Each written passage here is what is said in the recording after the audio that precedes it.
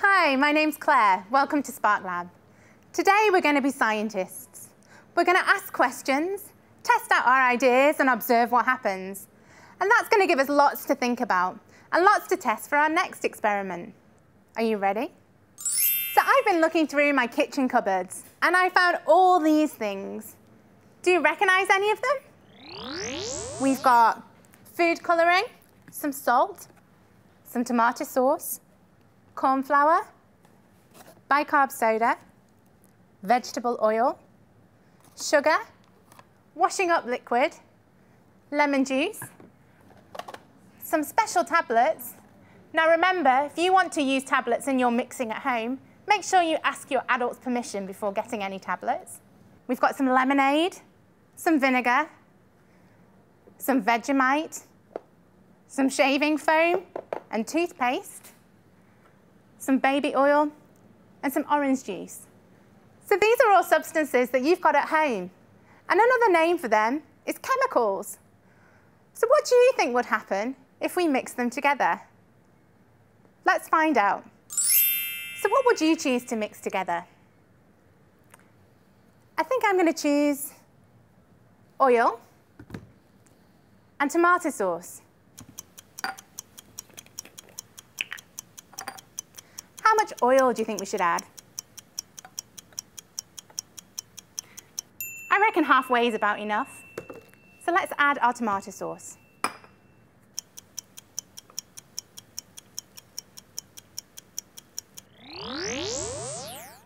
Ooh. What did you notice happening when we added our tomato sauce?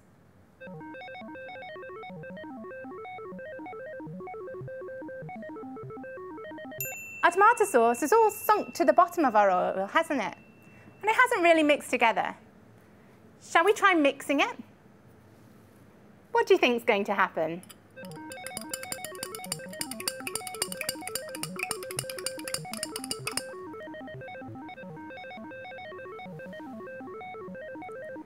I can see that our tomato sauce is now floating in our oil. But it hasn't really changed very much. We have a mixture of tomato sauce and oil, but not many other changes. I wonder if when we mix our other chemicals together, if they would behave in the same way, or if they might be different. Let's mix some other things together and find out. This time, I think I'm going to choose bicarb soda and food colouring. I'm going to go for red because that's my favourite colour. Which one would you put in first? I'm going to start with the food colouring.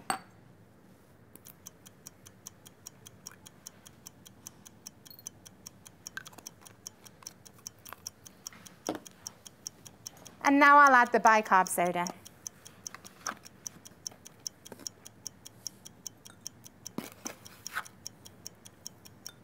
That should be enough. Happened to our food colouring? If I look down at the top, I can't see it. But if I hold it up, I can see all of our food colouring is still underneath. It hasn't really mixed with our bicarb soda at all. I wonder if we add another chemical, if we can get our bicarb soda and food colouring to mix. Which chemical would you add? I think I'm going to add vinegar.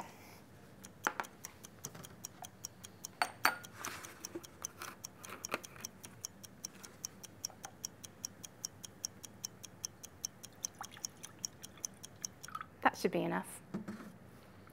So how would you describe our vinegar? It's a clear liquid. Does it remind you of anything?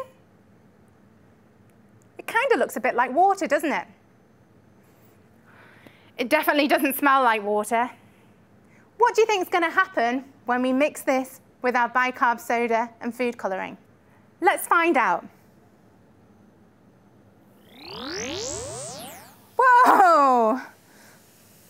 What just happened?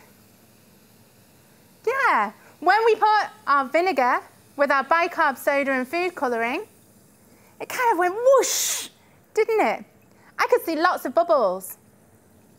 And if we hold it up and listen really carefully, I can hear it fizzing.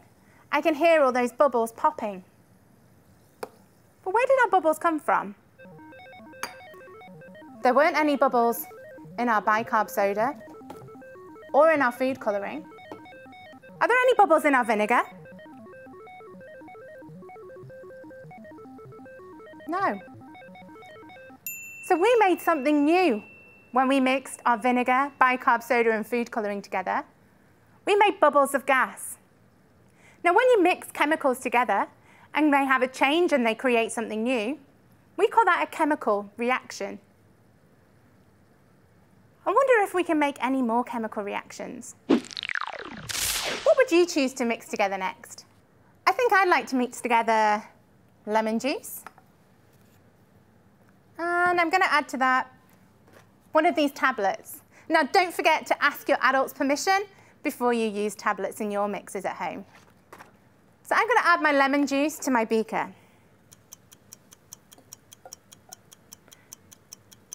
Would you describe the lemon juice? It's like a white, cloudy liquid. Now let's get our tablet. Can you have a guess or make a prediction what you think will happen when I put the tablet in the lemon juice? Let's find out. I can hear the lemon juice fizzing. And I can smell the lemon juice getting into the air as those bubbles in there are popping. But there weren't any bubbles in our lemon juice. And there weren't any bubbles in our tablet. So what do you think happened? Does it remind you of anything else that we've seen today? Yeah. It's like our mixture of bicarb soda and vinegar. We had a chemical reaction when I added the tablet into the lemon juice, and we created these bubbles of gas. So we have time for one last mix. What would you like to mix together?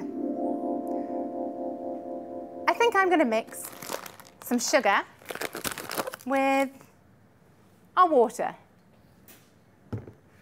And this time, I'm going to use a plastic cup.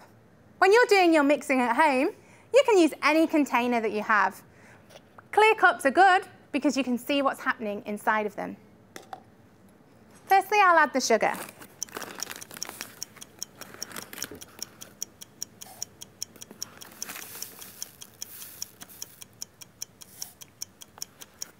How would you describe our sugar? It's a white solid. And if we move it around in the light, you can almost see those crystals glistening. Does that remind you of any other chemical that we've used today? It's a little like our bicarb soda, isn't it?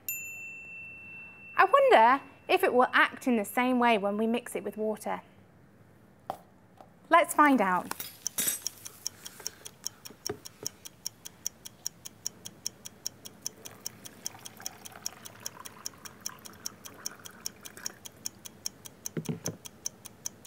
What do you notice about our sugar-water mixture?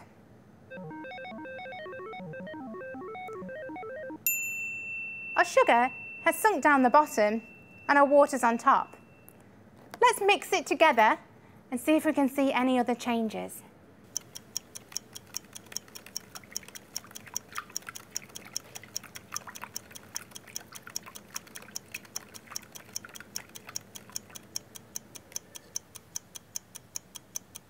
Notice any changes?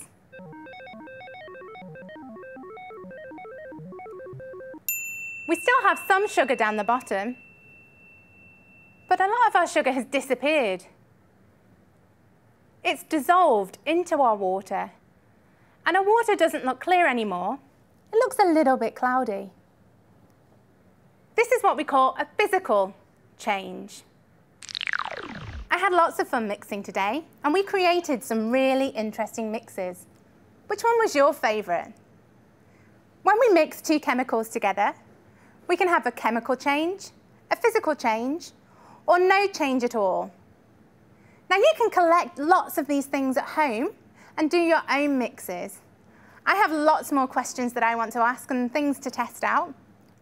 What question would you like to test? Or what will you get to mix together?